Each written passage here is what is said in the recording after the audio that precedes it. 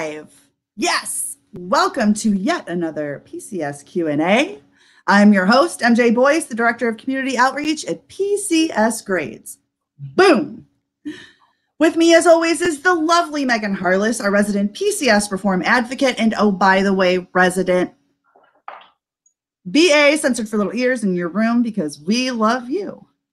We have a great show for you today because we're going to be talking about all expectations with regards to loading and packing. There's going to be some DoD updates, and we just we're, we're going to format this to actually kind of complement the trend of things that we're seeing, especially as far as those PPM goes, people. So if you know somebody who's PCSing this summer, maybe having some issues or challenges, but need those expectations set for loading day, and uh, and the whole packing day, which can be very stressful, go ahead and tag them in the post. Go ahead and share this with your people because we all know somebody who's PCSing, right? We all know somebody who's PCSing if we aren't ourselves. And Lord have mercy if you are. We got your back. All right. So before we get to Megan and those DoD updates, I'm going to go through those housekeeping items as we do every week. Ready, set, here we go. All right, people. We've got the answers. And if we don't have the answers, guess what? We know who does. And if we don't know either of those things, we're going to take your questions for action and get back to you with an answer. Speaking of questions, comments, concerns, suggestions, shout outs, go ahead and leave those in the comments section below so that we can get back to you with an answer. And every time you engage with us, whether that's asking a question or providing those suggestions or just saying, hey, what's up? Hey, everybody, thank you, or whatever. Every single time you do, you have an entry to win some Hope Design Limited stuff. And this week, what we're going to do is we're going to give away a $25 Hope Design Limited gift card so that you can pick out your own bling. Or maybe you know a family who's PCSing and you just want to give them a little PCS love. You can go ahead and spend some, some of that on them as well. So that's that. Next, we bring you the experts, experts from U.S. Transportation Command, the moving industry, or even our uh, military education specialists or our advocates in the military spouse employment realm, right? We bring them to you because they have the answers, but sometimes you're going to have issues or challenges specific to you and your military family. And in those specific instances, you have two forever and always resources. Number one, your local chain of command. Number two, your local transportation office. Those are the people who know you. Those are the people who are dealing with your stuff those are the people who can take your issues and further them for an action. Of course, you always have PCS grades who's got your back. You can come to pcsgrades.com and read reviews on those movers, on for on base housing or off base housing or schools or so much more. It's left by and for military families, so you can leave and read reviews exclusive to military and veteran families. Who better knows our life than the other people who are living it, right? We also have area guides. We have BAH calculators. We have blogs and blogs and more blogs of official information and also, you know, those that that first person experience that you've gone through. Trust me, our lives are bestsellers. Come check out our blog. Um, but don't do it yet, not until this is over. So any questions, comments, concerns, shout outs, leave them in the comment section below. We'll get back to you with any information or, um, or uh, any answers to questions. But also, LOL smiley faces are encouraged, but don't count as entry to win. Uh, last but not least, and I'm modifying this as the weeks go by, but let's continue to do our part, people. Let's continue to do our part because we are flattening that curve, right? We are flattening that curve. We have worn our masks. We have social distance. We have done all of that. There are still policies in place. Make sure your movers are still wearing their masks. Yes, they have to. It's a policy, it's a thing but we are flattening that curve and we are flattening Murphy with it. People, remember, when we flatten that curve, we flatten Murphy with it. Do you hear us, Murphy? We are coming for you. And with that, I'm going to hand it over to Megan for those DoD updates. Megan?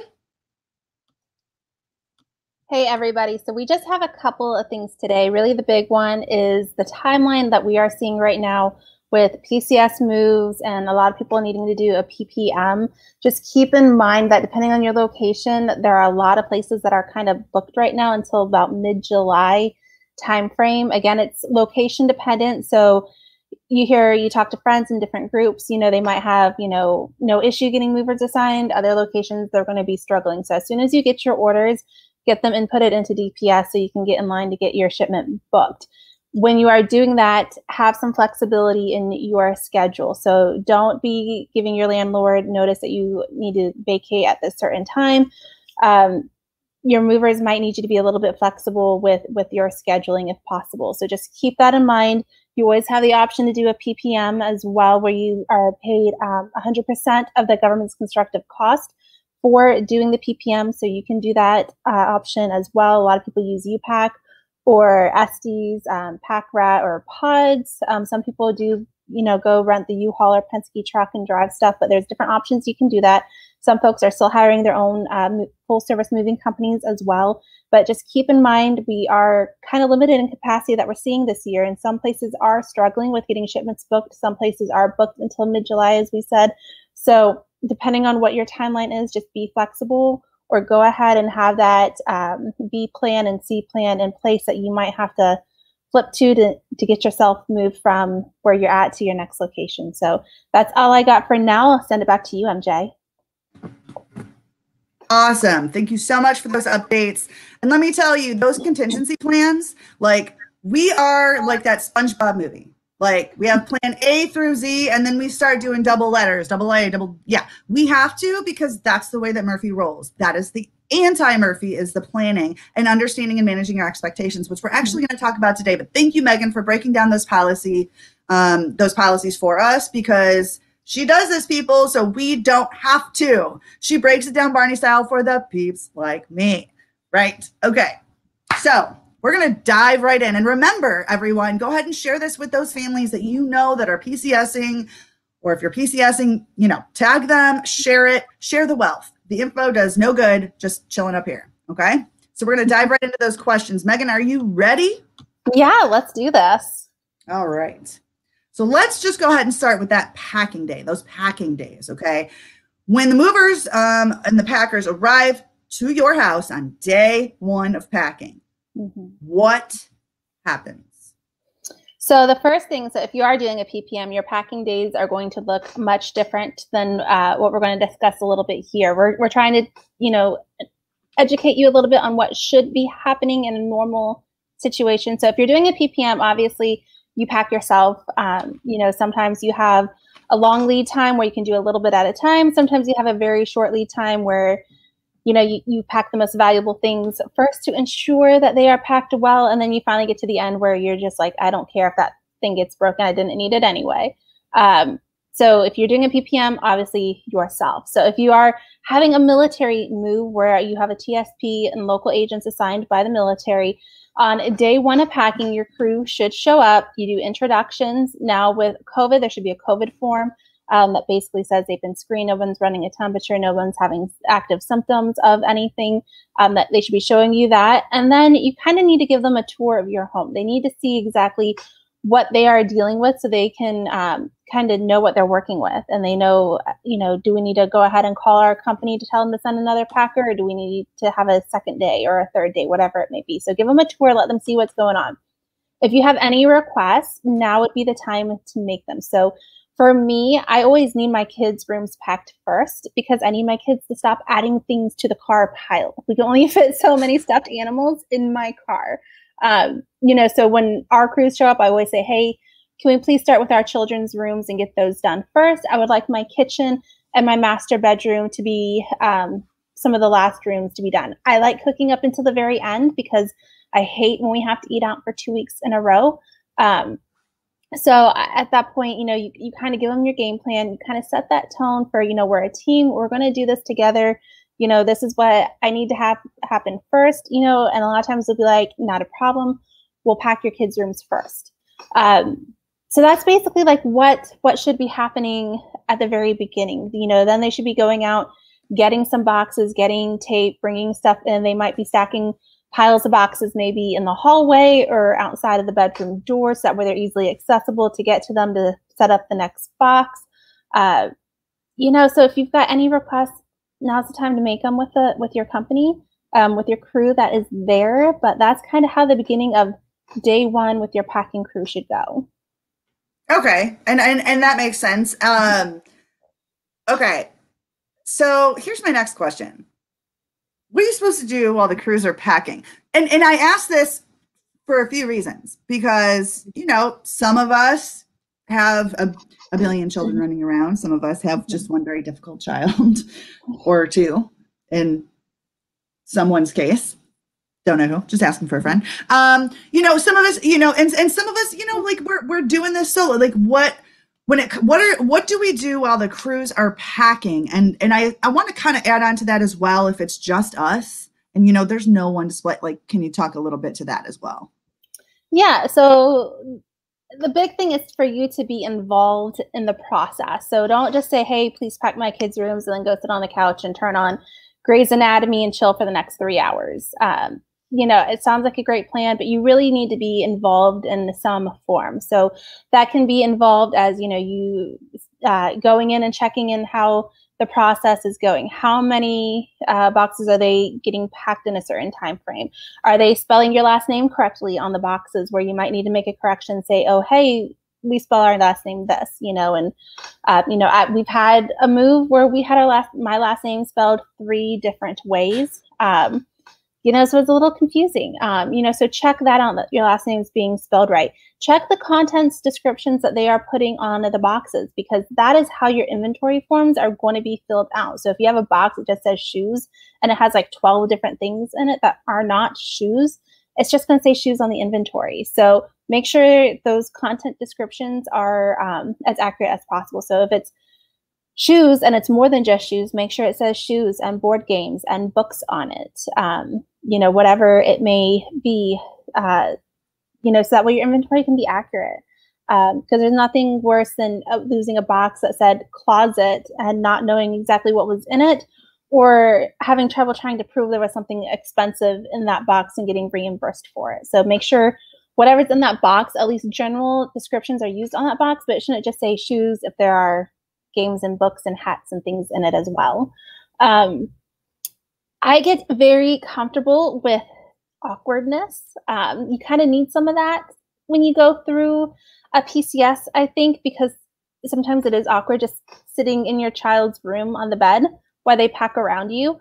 Um, you know, but because you, feel like you kind of want to be like, shouldn't I be? I, like, I feel like I should be helping. Like, you want me to grab that box? You want me to tape that up? Like, you know yeah. I mean? Yeah I, I, mean the awkwardness i mean because you want to be involved so you need you need to be available so that when they have a question you know like hey we found this thing it seems kind of fragile. Do you want it packed in a certain way? Or uh, maybe they find something that your kids broke and your kids shoved it under the bed to hide it from you um, and they come to you with that. So you need to be available so that way if they have questions they're there. But the awkwardness i mean i have no problem being awkward hanging out in the bedroom while they pack as well. I mean, it's it's our stuff. It's you know my room. I want to make sure things are packed appropriately. I want to make sure everything is handled as it should. Um, you know, so sometimes you gotta look a little okay with that awkwardness, get a little okay with some small talk. You know, like are they from the area? Have they always packed? Do they enjoy it? Um, ask about their family, talk about the weather, ask about sports. Sports are a big one that I have found with Packers. Everyone has a favorite team they want to tell you all about. Everybody has a team they hate that they want to tell you all about as well. Um, you know, so it kind of helps. sucks if the team they hate is yours. So it does, like- it does. But I mean, small talk it, it helps break up some of that awkwardness. But being there and being present lets them know that you're involved and that you care. Um, you know, which is a very big important thing of just generally being involved in that process. Now, if you are by yourself, which happens a lot within our community, our spouses are still deployed, they had to go on their TDY en route, whatever it may be. Um, so, by regulation, you cannot prohibit your crew from doing their job. So, if they show up with seven packers, you can't say, please pack this one tiny bedroom first before we move on to the next room. So my game plan and suggestion is to to have that game plan of how things could be packed. So for my home with our layout, I can have the kids' rooms packed at once because their doors are near each other, and I can easily float between the two if needed to see how things are going. Um, you know, they can do the dining room and the living room at the same time, and maybe even the kitchen in there because it's such an open floor plan that I can see what's going on and I can be involved with that process as well. Um, you know, so you really need to take a look at your home and figure out what does that game plan need to look like for me if I have to do this by myself and how can I best make that happen. Um, And that's when your crew shows up on day one and you say, Hey, here's my game plan, what I need to have happen. And they say, Okay, we'll go and do it. Got you. And you know, Courtney has a great question. Shout out, Courtney. Um, content descriptions on boxes is so stressful. I kept saying I wanted it to be more specific, but they told me it's a bad idea. People will steal stuff. Um, and and you know if they see what it is and what's in the box and then follow that up with like i wanted the xbox labeled and then they said it should stay electronics however the sheet did say xbox so yes and no ish so like electronics like your Xbox, your gaming systems, whatever it is that you have should be listed on the inventory by item with the serial number on it as well. Um, the box could say electronic as long as the inventory for that. So if it's box 152, if on the inventory form it says Xbox, we, you, we, Switch, whatever the new ones are, and all the serial numbers with them, and the box just says electronics, you can be okay with that because it's in it's listed on your inventory sheet as it should be. Those items also should be listed on your high value form as well. Um, listing on your high value form makes that box of electronics has a high value seal on it that you sign, so it's even more protected. Um, but for, for items like that, like yes, they need to be individually labeled on um, your inventory. Getting more specific things is like your kitchen boxes. A lot of times they just say kitchen, kitchenware uh, kitchen glass, like what kind of glass Plates. are we talking about? You know, China. There's a difference between like, the the the Corelle from Target and yeah. literally bone china, right? Yeah. yeah. So what kind what kind of kitchen glass are we talking about? You know, is this my bakeware? Is it my Pyrex? Is it the dishes? Is it the glassware? And so getting that to be more um, specific as to what kind of glass are we talking about here um, kitchenware. Is this my cookware? Is it my bakeware? Again, is it our dishes? Is it my mugs? Like, what is this? Um, so it, it's a little, you know, kind of game you've sort of got to play with what do we, what needs to be more specific versus what is okay being labeled electronics as long as it's itemized um, with the item and the serial numbers on the inventory. I hope that answers your question, Courtney. Well, and I, and I think and I think that it wasn't so much a question as it was a personal experience, which, by the way, people, we value those because those are the things that Megan will hear about, right? And she'll take that to her Transcom advisory board meetings and be like, yo, I'm hearing about this. This person said this this person's not the only one who says that. So I think that Courtney, shout out, was, you know, going into, you know, it's so stressful because we say, okay, can you list it like this? And they're like, no, dude, you don't want to do that. And then won't. But I guess the key here is as long as it's on the inventory the way mm-hmm. that it should be, that is the key, as long yeah. as it matches up with that number. Mm-hmm. Absolutely. So you want to make sure that box 152 that they just wrote electronics on the side of it, that box 152 on your inventory sheet says Xbox serial number whatever, we switch serial number whatever. Okay, so um, Courtney, shout out, girl, you're on fire. Um, if you owned Pampered Chef, for example, shout out for anybody who does that. Um, would you want them to label it specifically? It's too late for us, but for next time. And can I just pause for a second and let me tell you, MJ, if if if if I'm if my husband didn't cook, we didn't eat. If Chris didn't cook, we didn't eat. I wasn't good at it. Like I just, I'm still, it's questionable. But I'll tell you what, there's this like, I don't want to be pimping pampered chef, but there's this magic pot is what they call it. And it's like a deep covered baker and it's stoneware, which, you know, you got to be careful with, right? Yeah. But I can cook edible food so much so that my kids were requesting stuff from me. So if that got messed up, I would be heartbroken and so would my kids. so so in this specific, should we label pampered chef specifically?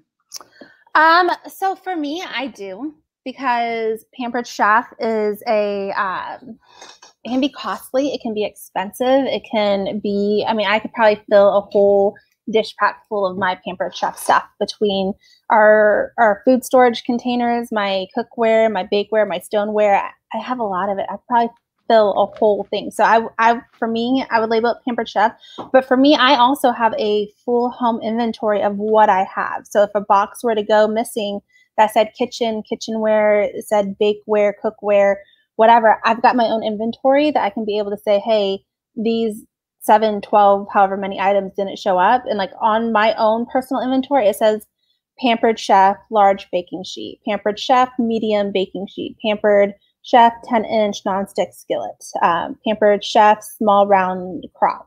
Uh, you know, so that way when things go missing, I know exactly what it is. I can show that was Pampered Chef. I also have pictures of it to show that it is Pampered Chef as well. So they're not trying to replace my Pampered Chef 10 inch skillet with a Walmart store brand 10 inch skillet kind of deal. Um, Different. You know, which is why having your own inventory and knowing what you have is so, so important.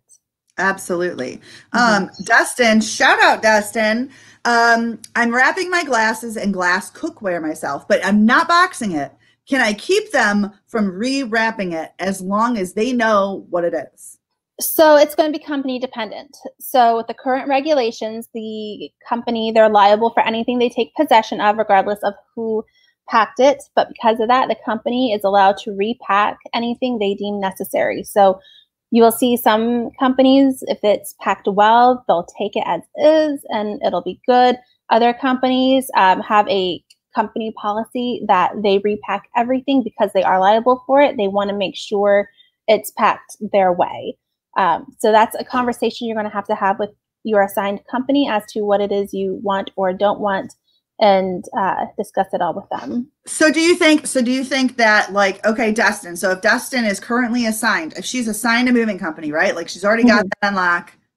Hey girl hey see? You want to say got, hi? got cameos here all the time. Hey, see now you're going to be seen by a lot of different people. So yeah. This is work from home life people and I'm sure you all can you all can relate um, we love cameos. Uh, my my my my mill kid 2.0, aka what most people would refer to as their grandchild, um, but not this chick.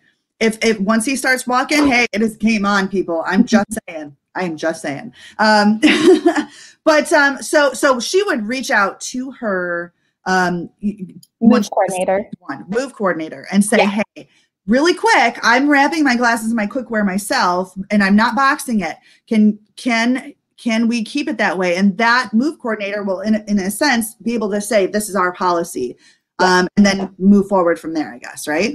Yes, correct. Yeah. Okay, that makes sense. Um, okay. Um, you know what? And I and I love this question. I'm going to throw Jennifer's question. I promise we'll move in here because I love this. I love this because I've got fur babies, and so do you. Mm-hmm. Um, I'd love to hear about the best ideas when dealing with pets unpacking days sweet beagles. Um, but I want to make sure I do the right thing. Shout out, Jennifer. Good question. Yeah. So, with having our fur babies with our pets, it's very important to secure them during these packing days. Um, dogs are sometimes a little bit more different than cats because cats are more curious. They want to get into everything. Dogs are really good at laying in the middle of the floor where you need to put a box um, type of deal. So the best thing to do is if you're able to is to um, if you have a fenced in yard for dogs, you know, let them have that good outdoor playtime. Put some water out there for them. If it's hot, bring them in for some cool down time.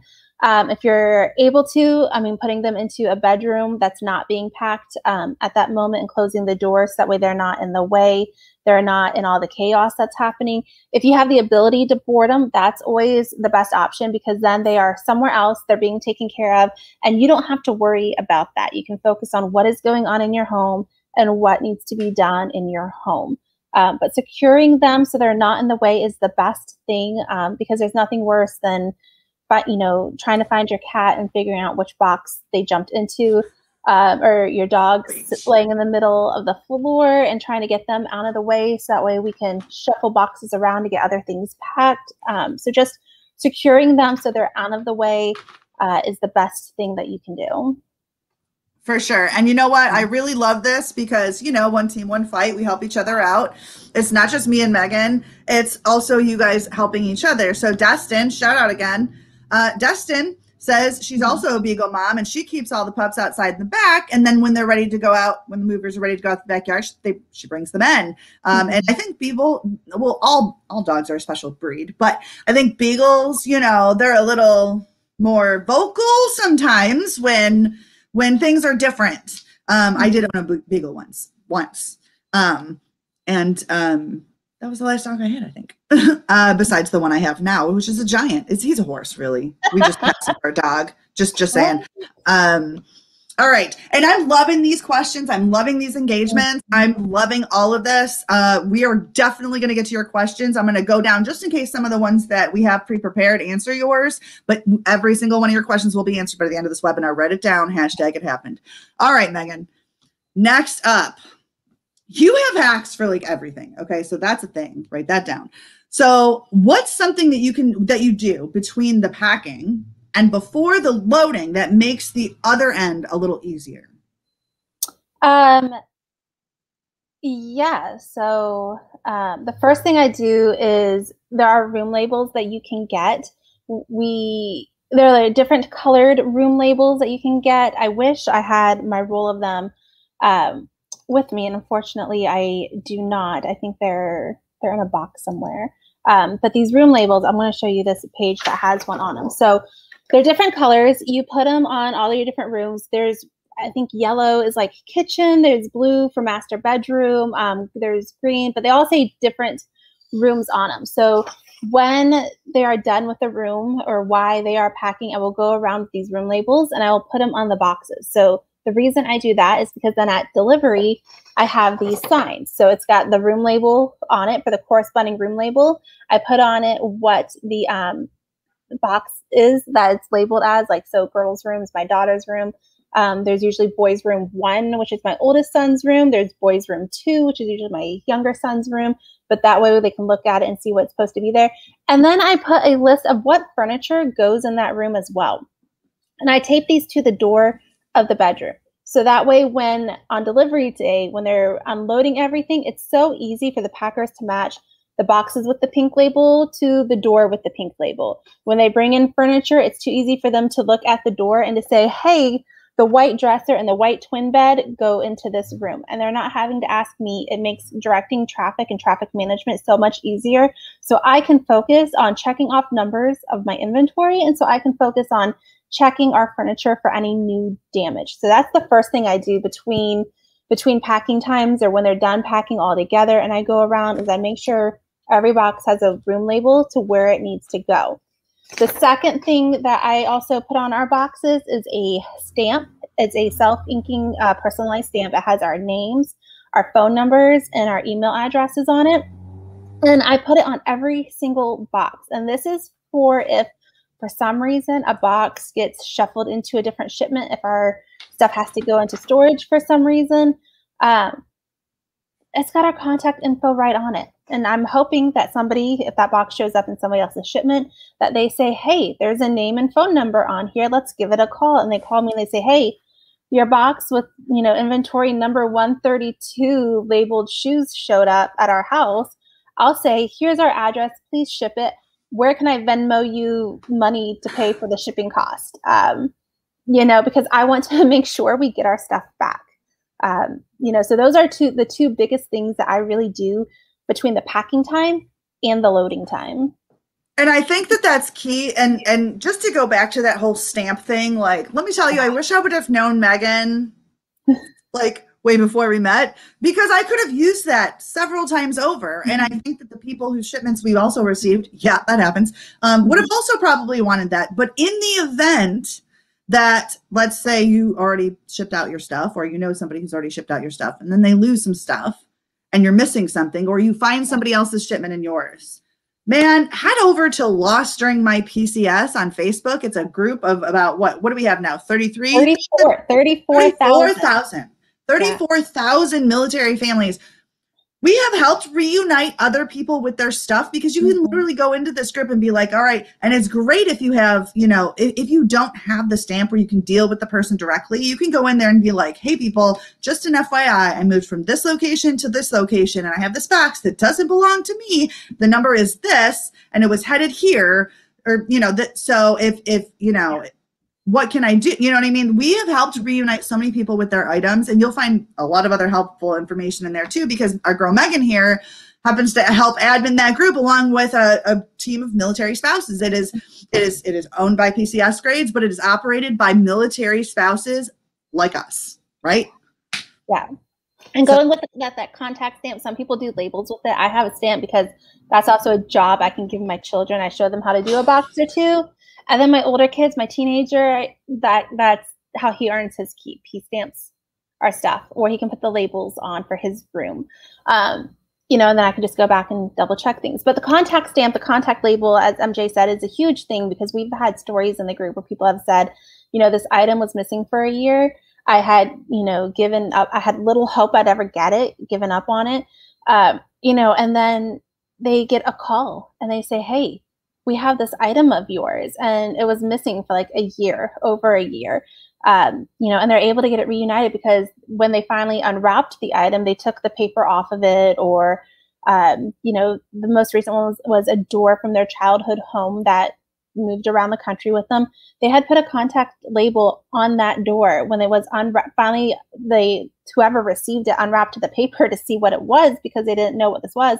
Saw the contact label, called the family, find out that they were actually like five miles down the road from them um, you know, so they're able to reunite that item to the family because of having a contact label on that item. So having your, you know, just a label or a stamp of your contact info can go a long way for some peace of mind to know if something were to happen, somebody has a way to get a hold of me. They know how to get this box back to me. They know who this item belongs to, and you're more likely to receive it rather than than not having it.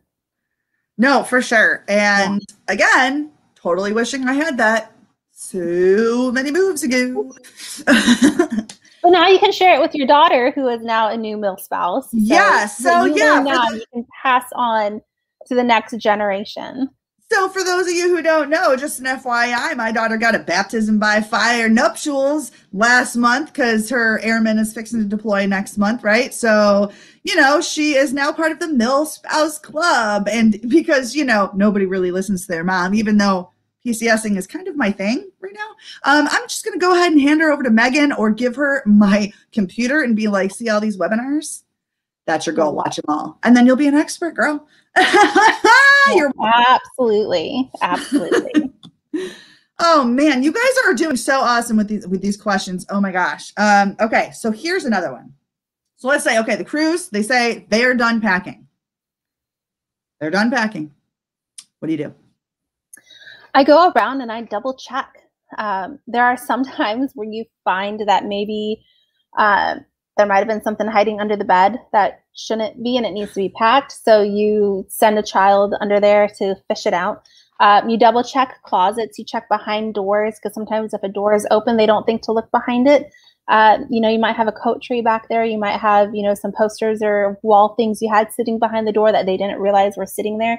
So when they say, you know, like, yeah, that room is done, we're moving on to this room, go just take a second, do a double check. Um, open doors, open cabinets, open drawers, um, you know, open everything to just double check that everything and check under beds, um, even maybe under dressers, especially in your children's rooms. Um, but just do a double check to make sure things are packed. There is nothing worse than comes load day and they go to move something, you know, or they go to close a door and all this stuff, you know, all your stacked wall art falls over, or you, um, you know, your hutch. they go to move it and they hear some jingling and they open up a drawer and there's like your fancy silverware in there um, with some other stuff that didn't get packed. So always take a moment and open up everything just to double check that things are packed and that if they miss something, it can be taken care of while they are still there in your home. No, for sure. And I just want to throw this up there. Crystal, girl, you're on fire. This is one of our spouse sponsors out of Colorado Springs. Um, she says, Oh my gosh, all my pampered chef, which seems to be a theme for today. All my pep- Pampered Chef stones were stored in the drawer under my stove, and I forgot to check, and they were all left behind. And no, I didn't get them back, which is a travesty. And I feel your pain because, again, I'm not great at cooking without these magic tools, in my opinion, anyways. Um, but no, I mean, like those are places that I wouldn't think. Like, like you know how you keep they have that little drawer. And usually, I think it's a broiler, and again, yeah or a warmer or something. Yeah. yeah. Like, but we often store stuff in there because mm-hmm. space, just because space. Um, and so, and then so that's a place that I wouldn't think to look ever. Yeah. That's where a lot of my bakeware is. My, my baking sheets, my pizza pans, like all of that stuff I put in that same drawer. Um, you know, we had a case where we had a couple of things left behind at a move too, because I, in my early years, didn't check. And, you know, we, we learn from our mistakes. And so that was a, you know, I forgot to check and we didn't weren't able to get it. Um, you know, I had one move where we had something I didn't find, and then we had a person come in to clean our home because I really wanted my security deposit back from that house. Um, lots of good stories there, but I really want my security deposit back. So we put the money forth to have somebody come in and clean the home. And in their cleaning, they found some of my baking sheets that weren't packed and everything. And we literally had no room in our car to fit anything else. So my my cleaning lady got a tip in my Pampered Chef baking sheets. Um, I was just like, "Do you want them?" And she was just like, "Okay, sure." Uh, you know, so it's always important just to when they say we're done with this room, open your stuff and double check to make sure. Um, you know, we have an attic at our house. We don't use our attic. But I know when it comes time to move out, my husband will be pulling down the attic stairs just to double check again, just to make sure nothing mysteriously wandered up there. So it's always worth double checking everything. For sure. Um, because you know, I'm just for the record, you know, I'm like one of those people that will leave a charger wherever I go. Like anybody's house that I'm visiting for more than 5 mm-hmm. hours, they have one of my chargers. Yes, you know what I mean? Like I have I should just buy stock and chargers and stuff like that because I mean, it's like going to a hotel. I can't tell you how many shoes I've left behind, most of the heels, because I just can't even with them. And and I mean, like I just think of you know the housekeeping, like man, they bank off this chick right here because I can't even. I have a good lost and found going of all of, of all of MJ's shoes and. Well, and my shoes and my chargers. The end.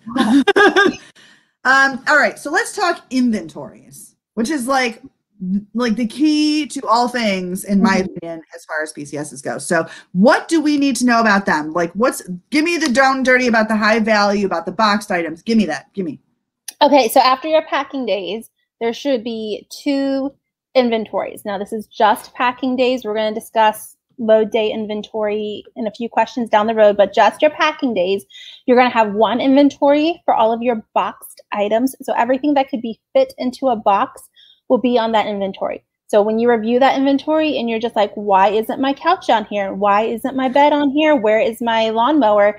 That comes on a later inventory. Okay, so this is all your boxed items should be listed on this inventory. And this is where everything that's listed on the inventory, the, the description on there is coming directly from your boxes um, and what is listed on your boxes. So that is the first one that you will have and need to review. Your second inventory is your high value inventory. So anything that's considered high value, your anything that's generally $100 per pound, antiques, china, crystal, electronics, um, the irreplaceable, hard to replace. If you have a collection of some sort, we have a sports memorabilia collection that we have some signed items from various different players of my husband's teams. All of that stuff we put onto the high value inventory. Um, so those items considered high value, they get put into a box and you should have some seals, some high value inventory seals that you generally sign and get placed over um, like the I don't know what you call them, creases, sides, seals of the box. Uh, you know when you fold the flaps down and it meets, and then like the sides. That way you know somebody didn't cut it open. That um, makes sense. And mm-hmm. steal stuff and it, kind of deal. So those those seals go on it to protect your high value items. So after packing days, you're going to have those two inventories to review: your high value one and also your boxed item inventory. That makes sense. And just mm-hmm. a note on the high value inventory, that is going to be a separate sheet, correct? Correct. It should say high value inventory. It's got a lot of red writing on it. Um, a lot of people, a lot of companies will hand this to you and say, hey, fill this out. Some companies will want to do it for themselves. Uh, some companies, I, have heard a lot this year, some companies saying that, you know, it's only if it's $2,000 or more, only if it's $5,000 more the regulation, the DTR Part 4 Appendix B, the tender of service. No, I'm wrong. It is the um, Defense Travel Regulation, the Claim Liability Business Rules. I believe page 14 is where it starts talking about high value items in there, and it lists the criteria the $100 per pound. I've got a little, yeah, she's, I know. We just ignore her. Um, but the $100 per pound, China, crystal, all that stuff is listed right there for you to see. And you can take it and you can show it to them and say, hey, it says this, not that. Uh, you know, so always go by what's written in black and white within the regulations um, for your high value stuff. Okay, so quick question. Um, because you know some people they didn't get seals done for them and then but but you know dustin i think dustin shout out girl you're on fire too um, can you reiterate what to do if the company says certain things cannot be placed on the high value list or cannot be under $100 so I go by what the regulation says. So sometimes companies will push back and say, no, it has to be this or it has to be that. Always go by what the regulation says. And the regulation says $100 per pound um, antiques, electronics, china, crystal. It lists a few things out there. We'll get the I'll get the link for that regulation dropped into the comments so you guys can go and look at that wording yourself. But if your items fit within that criteria that's listed within the regulation, then I pull out the regulation. I show them. I say, hey, right here it says that I can put my electronics on my high value inventory. It says I can put china and crystal, and this item is china or crystal, you know, whatever it may be it can go on the high value inventory. If you have issues during this process, you can also contact your move coordinator, um, who should know the regulations as well and should be able to make a call to your local agent to fix the miscommunication happening there. You can also call your local transportation office and ask for a QA inspector to come out, and they can come out and say, no, this is the regulation, this is what it is, those items should be on there. Okay, and so and um, our girl Stacy, our community outreach manager here at PCSgrades, she handles all the back end stuff. When you see somebody dropping links to what we're talking about, that's her. She's going to drop the link to our last webinar, and we spoke about um, drop in the regulations, like a literal mic drop. Okay. Yep. So in this instance, one of the things that you could do, you know, by educating yourself and knowing what that is, and Megan, like she said, she's going to go ahead and drop that in there. And it may not be helpful now, but it, A will be helpful for military families that you know are moving, and B will be helpful for your next move. My question to you, Megan, especially in instances like Dustin's, because what I'm seeing here, you know, like R- Rochelle, Rochelle Mastel, uh, Masteller, um, you know, like we had issues last time. Driver didn't want to mark down items that we were, you know, saying were on the higher value uh, mm-hmm. list. Here's the thing. Those regulations, those are the standards. That's the baseline. They have to meet okay? And if they do not meet them, they aren't aware of them. And guess who can educate them? Us. So by doing, you know, showing the regulation that Megan has, either mm-hmm. next time or for a family that you know is moving to have for, for them to have at the ready, you can be like, no, dude, here's the regulation. Here's what it says. You're incorrect. Do you want me to call the move coordinator? Do you want me to call quality assurance? Or do you want to go ahead and write this on the list? Because that might save some time. I'm just saying that might save some time. Just be like, here, it's black and white. If you don't believe me, believe the paper. It's right there. Mm-hmm. Um, that can be helpful and save a lot of time, wouldn't you say? Yeah, definitely. So, uh, yeah, we, we totally did a webinar a couple, I think it was a couple weeks ago now um, on the regulation. So we'll get that link dropped into the comments for y'all. But we go through all of those most commonly asked questions that people have um, within the Lost During My PCS group about you know, what do I do about this? And there's a regulation on it. And so we walk through all of that. And one of the things we discuss heavily within that webinar is also about the high value items. Um, so it's worth going back when we're done here, taking a look at it and seeing uh, what those regulations are. Links are dropped into those comments as well, where you can be able to go and take a look as well. But the good thing is that the military thinks of these things and there's a regulation for it. It's in black and white, easy to read and understand. Your move coordinators and TSPs are agreeing to these regulations when they join the DoD relocation program. Um, so it's not like it's something new that somebody just made up and said, we're throwing this out there. Um, sometimes we know information disseminates doesn't really work well sometimes, but that's why it's always important for you to know what the regulations are and for you to be able to pull them up and say, hey, it says this, this is what we need to do.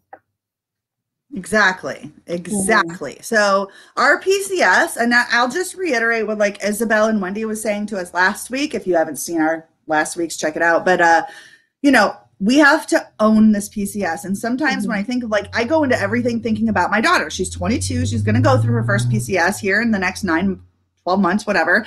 Um, and she doesn't know at all, but she, but she's ultimately responsible. This is her stuff, and if she wants it taken care of, mm-hmm. you know what I mean? Like, yes, they are supposed to take care of our stuff, but in the same vein, we need to hold somebody accountable. And if we know this information, we can do that. And that's fantastic. And we're making it easier for you by dropping these regulations here for you to look at in real time. So own it. And and to sign off with that, we have Charmaine. Charmaine was a past guest of ours. She's got a book geared towards middle kids about PCSing and how you can explain PCSing to them to help them with that transition. So, loving the idea, having the regulation on hand. We love that idea too. And we are very happy to see you joining us uh, in the comments here today, Charmaine. So, thank you for joining us. Shout out, Charmaine. See, once a mil kid, always a mil kid, peeps. Yeah, yes um, okay, so um, let me see. Let me see. Let me see. Because we just got, we just like, see, this is what we love about this. We go down the rabbit hole and we talk. To, this just leads to more conversations and more talk that Megan can take back to the decision makers for us to have a better PCS. It's just, it's just full circle. Um, okay, so next question. So load day comes next. Okay. Yes. How does this day begin? Like, how does this start? Yeah, so load day starts very similar to pack day. You will have a crew that shows up, the driver shows up with the truck, the crates, whatever mode it may be, um, but your crew shows up. So the most important thing to do then is to give them a tour again of the home. They need to see what kind of stuff they're working with so they can configure how to pack it into the crates or how to pack it onto the truck. Um, you know, they need to see if you've got oversized furniture. They need to see, you know, how many beds do you have? How many mattresses? Um, are we talking a lot of big boxes, a lot of small boxes, whatever it is? So you give them a little tour, show them what it is they have to, so they know what they're working with, um, kind of deal. And then you just kind of sit back from there. They'll be working on grabbing stuff and pulling it out. A lot of times you'll have some folks that will be strictly pulling things out of the home and they'll be staging it maybe in your garage or in your driveway, depending on weather, maybe. And then you usually have a person or two that's um, working with the truck and they are pulling stuff off the driveway out of the garage and and loading it properly onto the truck as it should be done. Um, one of the big things to know is if you end up having to truck share, your mattresses should be one of the last things on that your mattresses um, should be used to kind of create the wall between your shipment and the next shipment. That's kind of how industry standard of how they know where one shipment ends and one shipment begins um, is using your mattresses for um, for that wall. But they're going to be taking everything out during this time. Your driver, usually the driver, is walking around with another inventory form, and at this point, they are writing down uh, the furniture that is going um, because they're the ones that are more responsible for the furniture because they're going to be wrapped in uh, usually moving blankets. If you're going OCONUS, it's usually the thick, heavy padded paper stuff.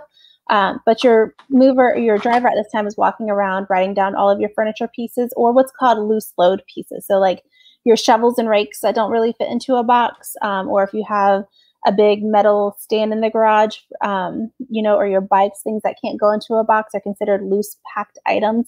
All of those items are also being written down on that inventory form that the driver is creating.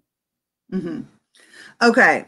So I'm just going to throw this up here because this kind of comes in conjunction with my next question. This is a thing. Mm-hmm. It's going to cover us up, even though you love our beautiful faces. Trust me, you'll you'll you'll understand. Okay. So Courtney, shout out on fire. One thing that happened to us is the loading day, they weren't working fast at all. It was frustrating because it shouldn't have taken all day. The young new employee packer said, and I quote, they're going slow because they don't want to have to unload this stuff at the warehouse, but don't tell them that I said anything. Here's the thing.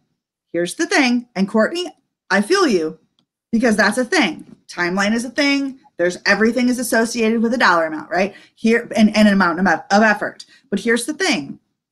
Um, I want to ask you, Megan, what would Courtney do in this situation? Because because she doesn't want to, you know, get this kid fired, and she also doesn't want him to be the pariah of the group, and she also wants her stuff to be loaded properly, and you know what I mean? So it's like a conflict of interest. And I know that you're probably going to say, call the QA, call the move coordinator.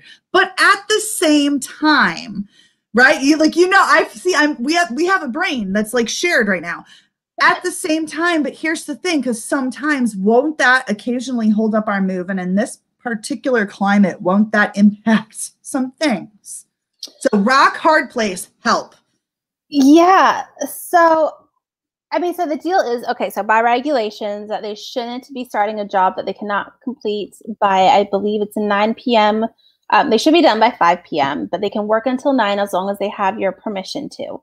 Um, if for some reason, like you got to go to your kid's last basketball game at seven o'clock and you can't have them there until nine, you have every right to stop movement and tell them that they need to come back the next day to finish. So the best thing to do is when you realize that there is going to be a problem, is that there's usually a crew lead. There's usually some person that is in charge of the crew leading the way. Sometimes it's the driver, sometimes the loading crew has their own person. So you find the crew lead and you discuss it with them and you say, hey, you know, I know we have a lot of stuff, whatever it may be. You know, I know it's you know, East Texas. It's hot out here in the summer.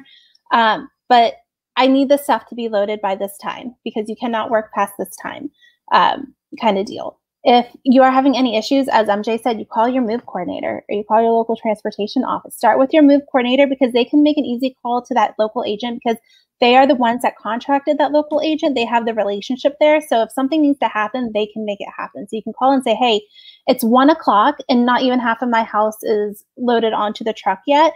And they've got six more hours to work until we have to go to my son's basketball game. I don't think this is going to happen. That move coordinator can call the local agent and say, hey, this isn't going well. Your six, seven, however many people out there are not loading this house efficiently, time wise.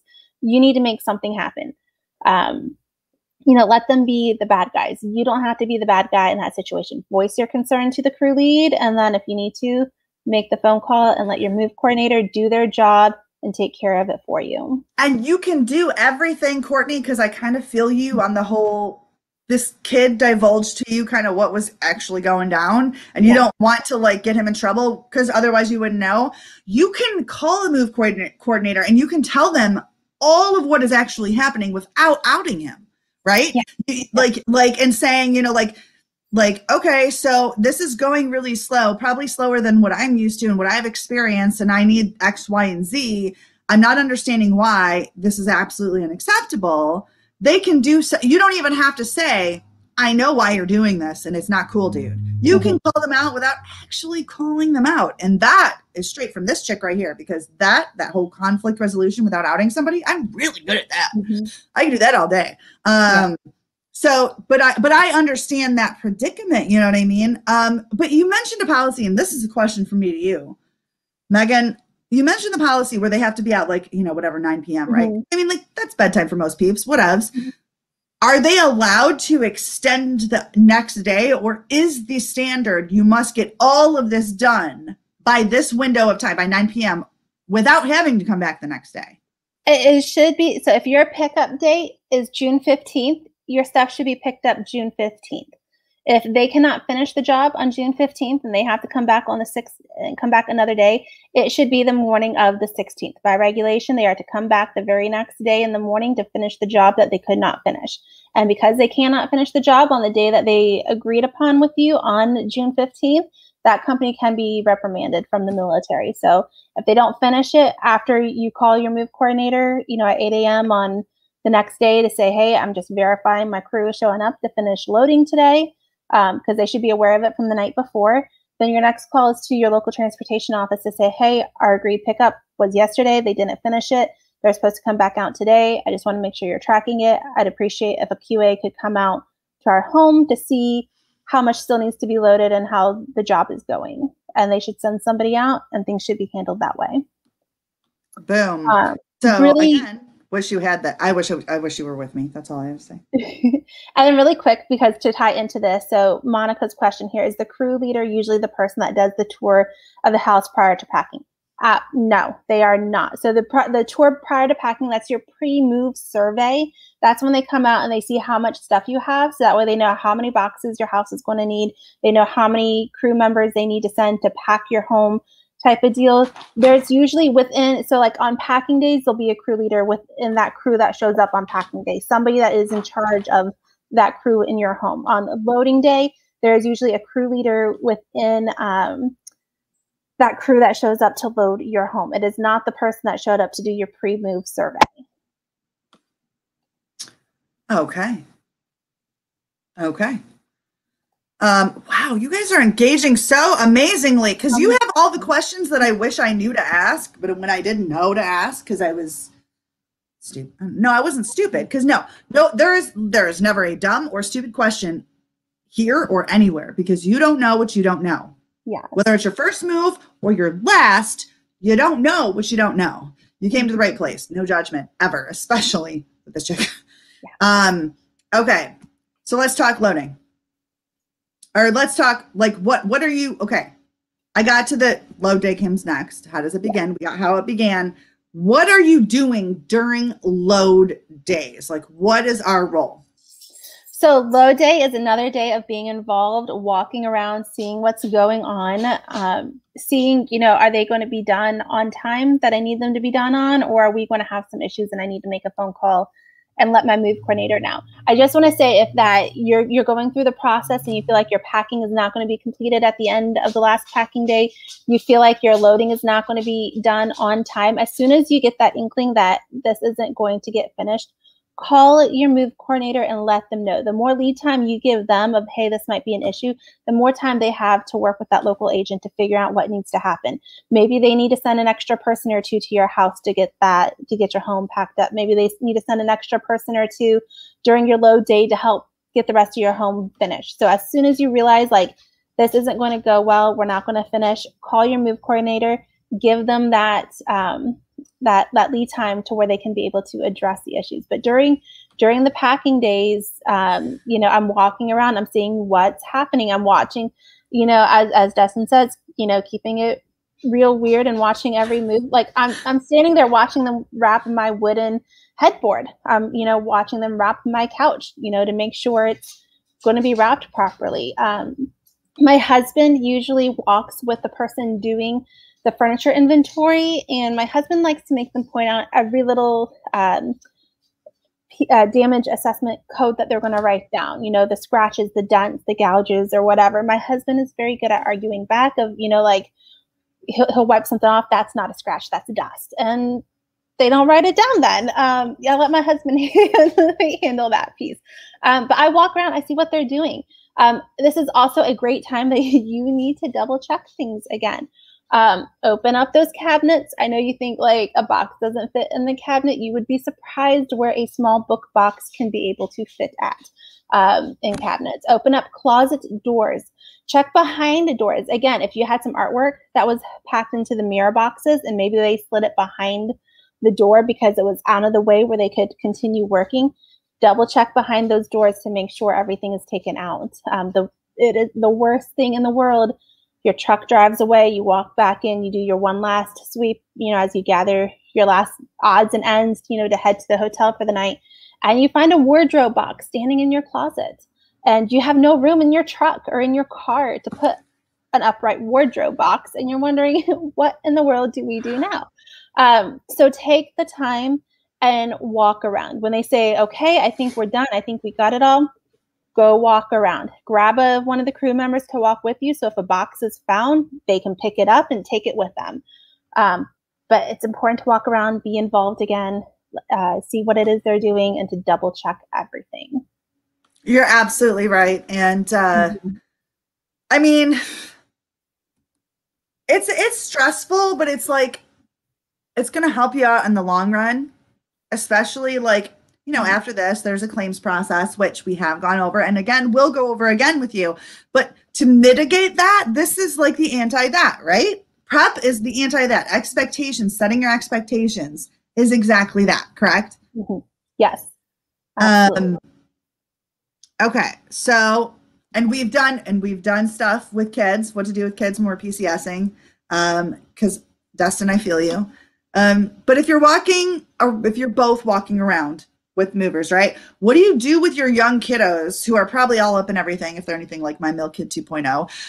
Mom of a five year old and a 16 month old, God bless you. That's extremely mobile. So, what are they doing? Like, what, what, like, do we get the leashes? Do we like just like backstrap them and straight jacket that thing? What do we do?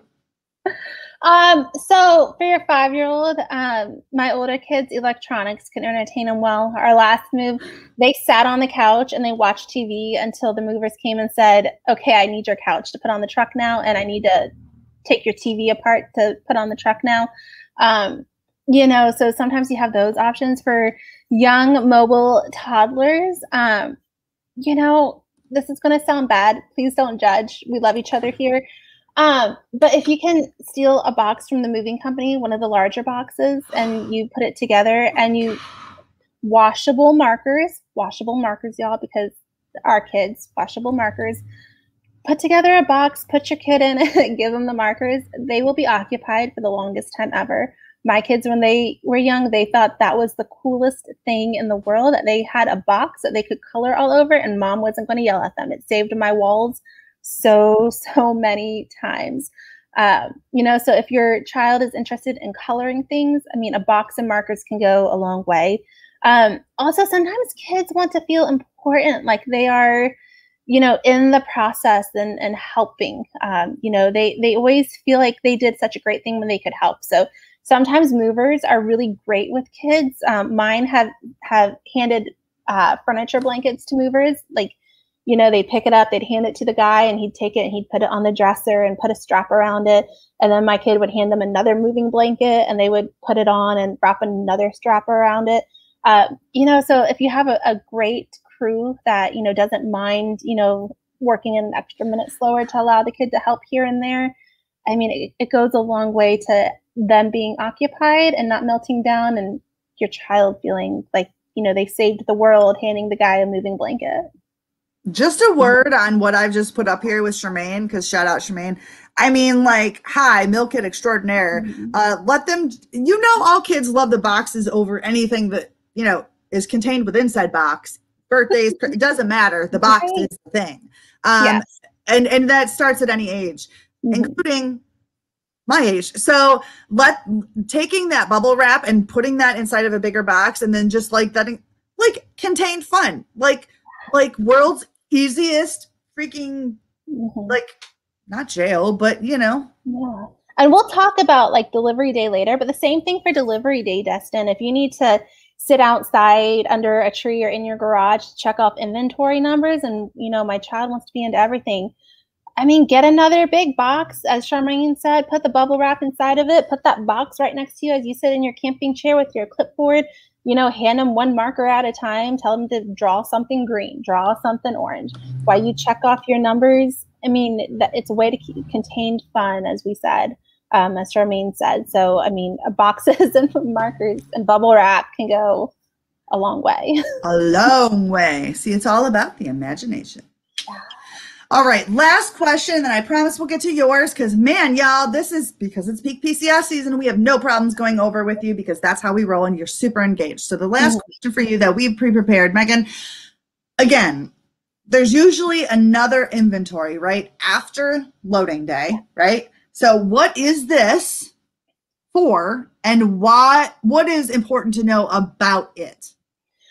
So this inventory is going to be the inventory for your furniture and loose packed items. This is the inventory that your driver is usually the driver puts together um, because your driver is responsible for the condition of your furniture. Now, the important thing to know about this inventory is you're going to see something that looks like a bunch of gibberish.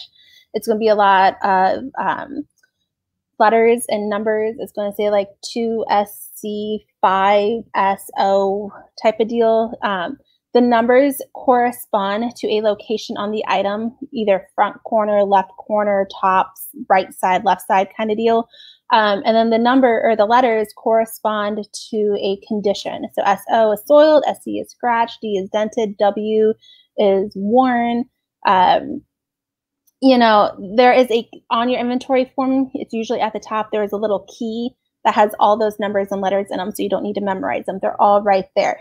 But those codes are supposed to correspond to the current condition of your furniture. So if you have a footboard and there's a scratch or a dent on the footboard because your kid came in there with their Nerf gun and they couldn't hold it and they dropped it on it because they were also jumping on the bed or whatever, hmm. um, they will know they will note that there is a dent on the top of the footboard. Uh, what they should not be doing is marking that your footboard is scratched, chipped, dented, gouged, whatever. Um, sometimes we see some crews that they mark everything in the book under an item and they try to do that to kind of protect themselves in a way. Um, so that way, scratches happen in moves. I mean, I expect when we move, my dresser will have another little scratch somewhere. The table will probably have another little scratch somewhere. Sometimes it happens trying to get onto the truck. Sometimes your truck hits a big bump and it rubs against the side of um, the truck a little bit, you know. So I expect a few things like that to happen. What should not be happening is the negligent damage that we sometimes see. Um, you know, but those damage assessment codes are there to identify the current condition of your furniture. Now, some people, like my husband, will walk with the uh, driver, with the person that's doing it, and they will discuss the damage codes before they are written down. Um, other people will take pictures of their current of their furniture in current condition. We do that. Some people will say, "Show me the what damage you're writing down," and they take a picture of it right there to note that this is what we're writing down. Um, if they are writing down damage assessment codes that you do not agree with, you have every right to take that inventory, circle, asterisk, star the inventory numbers, and in the comments section, you can write that you do not agree with the damage assessment codes written, and then initial it. Do that before you sign it, because once you sign it, you are agreeing to the inventory as it's written. So if you're going to disagree with anything, note it before you sign it, but you have every right to say, I don't agree with this. Um, you know, and that way, then if your table that they say was scratched and dented shows up and it's scratched and dented, but you have a picture to show that it was not before it left your possession, then you can use that to say, hey, that wasn't the condition that it was in, and you should be able to file your claim without issue. Well, that was a lot. No, it was a lot, but you know what? That was it's necessary. You know what I'm saying? Mm-hmm. Like, um, so there was something in here. Stand by because y'all were on fire. Um, about the damage assessment codes. Uh, you know what? If you have it in front of you, you put it because there's been several, so you put it in front of you. Um, oh, where did it go? Where did it go? Right. So that's how awesome you guys are. Is that we are having to filter through all of these, and that's cool. Um, just for the record, like in the event that we can answer these live, Courtney, me and me and me and Megan, we go on the back end after the webinar. We have a webinar after action, and we filter through these questions and we try to answer them like in real time. Drop the links, whatever you mm-hmm. need. Um, but go ahead, go ahead, um, Meg. Yeah, so this one from Courtney that we were told all furniture will be marked soiled. They said if it's open, it's considered soiled. Our furniture was perfect. I wrote that I disagree. Is this true? what you were told um, is not true. They should not be marking everything as soiled, dented, scratched, worn, whatever. Um, I've heard multiple different excuses for things. They should be marking it as the current condition that it is in. Um, I had a friend that had, again, a brand new table. It was delivered like three days before they moved. Um, a lot of people say why in the world would you do that? But i mean when you when you have a really great deal and there's a really great sale at nebraska furniture mart you kind of jump on it and take advantage of it when you know you're not going to have a great furniture store like that where you're moving to. Um, but it was new and you could tell it was new and they still wrote it up as being soiled worn dented scratched gouged everything in the book. And she was just like there's no way like it's like look like show me where it's dented and the driver couldn't give an, an answer so you can totally write, as you said, I wrote that I disagreed on it. That's exactly what you should do. Write that you do not agree with the damage assessment codes. If you feel like they are doing it excessively, um, you know, and you have furniture that is new, you have furniture. I have one friend, they take their all their upholstered items, so like their couches, their love seats, their recliners and stuff, and they get them professionally cleaned, like Stanley Steamer, whoever, before they move, so that when their crew shows up to do this inventory, they there's no stains on it there's no you know cat hair left on it or anything. So it's perfectly clean for them. Um, and they don't have to worry about you know them trying to say it's soiled and stained or whatever. Like it's professionally cleaned. They have the receipt. They can show it was professionally cleaned um, so some people go to those extents um, you can if you want to you certainly don't have to but it should be the current damage assessment codes that are written on there um, and then like here with Gina, her comment, I watch real close when they wrap furniture. Don't need any mysterious rips, scrapes, or cuts to appear on a thin air. And that's another one we hear a lot too, is that furniture, especially couches, you know, there might be a rip somewhere on the couch and it could be that it again rubbed something wrong on the truck when they were putting it in Um, you know, maybe there was a screw sticking out somewhere and it got caught on that kind of deal. Um, it happens. So again, if you don't agree with what the damage assessment codes are, just write that you don't agree with it. Um, initial it, and then you can sign it. You're muted. You're muted. You almost oh my, made it. I you almost made it, everybody. I almost made it without being muted. And just for the record, you know, a lot of you, we're going to get back to you an hour and 10 minutes. I'm so surprised. Um, there's one person I want to shout out um, really quick. Her name is Elizabeth Cook. Elizabeth, I've got your number. I've got what you're saying. Um, she was kind of one of the things that she did was printed out PCS grades movers notice.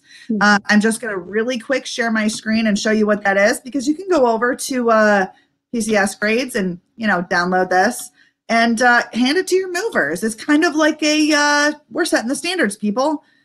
You yeah. go PCS grades, right? You'll go ahead and just sign up an account. It's free, um, and then you're going to go over to resources, and you're going to hit helpful downloads. And here we have a full PCS checklist. We have movers notice and we have a PPM DITY checklist, which we'll talk about later. Uh, but this movers notice, let me show you what that looks like. It literally says, hey, to the team at whomever your movers are, we want to thank you in advance for caring for our families, household goods, and other treasured items as part of our relocation. We look forward to rewarding your company by sharing a great review on PCSgrades with all of our fellow military and veteran families. Here are some of the criteria that we will use to brag about this experience. Their professionalism and customer service, timeliness and promptness, packing quality, labeling and inventory descriptions, minimal loss or damage to the property, cleanliness of company materials and interaction and responsiveness during the claims process. All of this stuff is saying, hey, FYI, we're putting you on notice without actually having to say, hey, we're putting you on notice. It's literally saying, if you do a good job, we're going to tell everybody you're doing a good job. We all fill out surveys, but sometimes we need to fill out surveys when they're good as well as bad. And if they want to be a good reflection of the company they represent, then they will, knowing ahead about it that you're going to be doing this, they may pay a little bit closer of attention. So just to see what happens. It never hurts as a buffer, right, Meg? Absolutely. Um, so right, that mover's notice can go a long way. And then, you know, we just ask that you come back to PCSgrades and fill out a review for your company at the end of your PCS. Um, you know, let other military families know how well that company did for you and if there were any issues, you know, you can always note it in there as well. For sure. Okay, so without further ado, and FYI, everybody, we're going back within the next few minutes. We're going to be answering your questions. If we didn't get to you, we got you. Yeah. Stand by. We're doing the Wheel of Names for the $25 gift card for Hope Design Limited. Ready? All right, pulling up the Wheel of Names. And while I'm pulling up the Wheel of Names, Megan, why don't you go ahead and do our audience a solid and tell them about the big stuff we're doing next week and that they can't miss? So next week, so we know that this season is crazy. There's a lot going on. A lot more people are doing PPMs because there is such a capacity and labor issue within the moving industry right now. So next week, we are very fortunate that we are going to have uh, Chuck White and Dan Bradley from IAM, International Association of Movers, on with us. They are a repeat guest. We had them on a couple weeks ago when we talked about preparing for peak uh, for peak season, and now we're going to have them on again to get an update as to what is going on with peak season. Why are we having the issues we are having? What are some solutions that are taking place with them? And additionally, about those PPMs, where can you find a reputable moving company? What are red flags that you should be aware of? And if you have a problem with your PPM company, where can you go to tell somebody to file a complaint and how to handle that? So if you know anybody that's moving and they need some information about the issues going on, or they're doing a PPM, or you're preparing and planning to do your own PPM, you definitely want to come and join us next week as we talk all of that good stuff. Absolutely. And so you don't, you seriously don't want to miss this. Um, mm-hmm. By the mm-hmm. way, I apologize ahead of time, people, because this is my brain. Okay. $25 e gift card to Hope Design Limited. Whether this is for yourself, go ahead and splurge. You know, self care is the thing. or for a friend who is moving across the way and you just want to say farewell and following seas to them, you can hit them up at uh, Hope Design. So we're going to go to that wheel of names. By the way, people, go ahead and take a look at this wonderful, huge, amazing wheel. Um, and this is all due to you because you're going to be sharing this with military families. Mm-hmm. And this information does no good in our heads. So here we go. And we're going to get a drum roll. I mean, if I have to play the drums myself, we will in progress. So, Megan, are you ready? Yes, let's do it. All right. And the winner of the $25 Hope Design Limited gift certificate is the Mil Kid extraordinaire herself, Charmaine Perry Knights. Woo! Congratulations, Charmaine. Yes. We will be in touch because we do have your information. Mm-hmm. Because once you're hooked up with PCSgrades, we're here for You you for life. You don't get rid of us. You don't. But yes, make sure you mark it on your calendars. Next week, we're doing it on Thursday at 12 p.m. Central. We have the International Association of Movers to talk to us about this big PPM, personally procured move slash DITY rush that's happening in our community. And if you hear of somebody who is, you know, kind of unexpectedly having to do this, go ahead and throw them our way, tag them in the post. You'll see us Thursday, 12 p.m. Eastern Time. Come ask those questions that need to be asked, share away. But until next week, Megan, This too shall PCS. bye everybody. Bye.